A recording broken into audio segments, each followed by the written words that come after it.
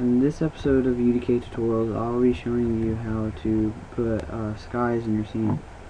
I want to make a simple area for us to test on.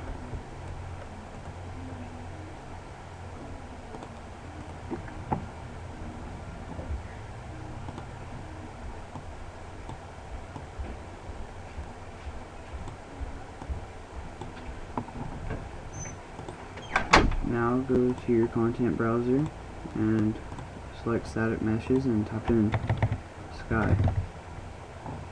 Drag one of the static meshes you see onto your scene.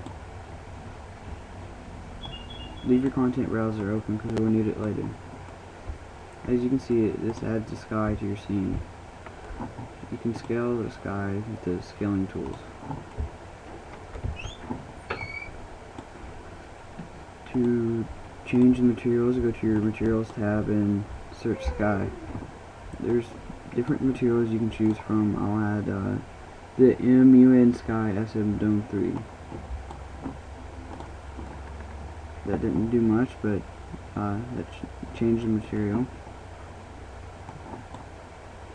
To change it, just click on the material and drag it onto your sky.